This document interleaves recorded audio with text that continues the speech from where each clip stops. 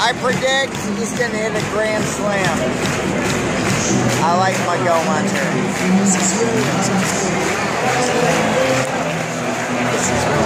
Grand slam. Grand slam.